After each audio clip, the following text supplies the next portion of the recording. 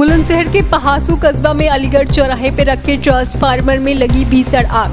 Transformer में आग लगने से चारों तरफ़ मची अफरा तफरी स्थानीय लोगों ने बिजली विभाग के अधिकारियों को आग की सूचना दी।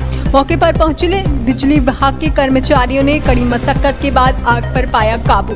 बिजली विभाग के लाइनमैन ने बताया कि आग लगने का कारण गन्ने से लदे हुए ट्रक का बताया जा रहा है। कस्बा पहासू में अलीगढ़ चौराहे का पूरा मामला इस वक्त की बड़ी खबर बुलंदशहर से बता रहे हैं, जहाँ पर बुलंदशहर के पहासू कस्बा में अलीगढ़ चौराहे पे रखे ट्रांसफार्मर में भीषण आग लग गई। ट्रांसफार्मर में आग लगने से चारों तरफ़ अफरा तफरी का माहौल बना हुआ स्थानीय लोगों ने बिजली विभाग के अधिकारियों को सूचना दी। मौके पर पहुँची बिजली विभाग के कर्मचारियों ने कड़ी मशक्कत के बाद आग पर काबू पा लिया। मेरा नाम जहीर है। लाइन मेनू है।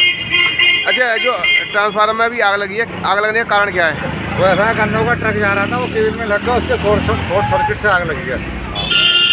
शॉर्ट सर्किट हुआ है जब आग लगी है ट्रांसफार्मर तो जिस तरह की भीषण आग लगी है तो यहाँ किस तरह का माहौल था? माहौल बहुत करीब है कम से कम दस दस आदमियों ने बाल्टी ला ला के इसको बुझवाया है आग को अच्छा आग पर काबू पा लिया गया? आग पर काबू पा लिया अब कोई किसी तरह की जनहानि?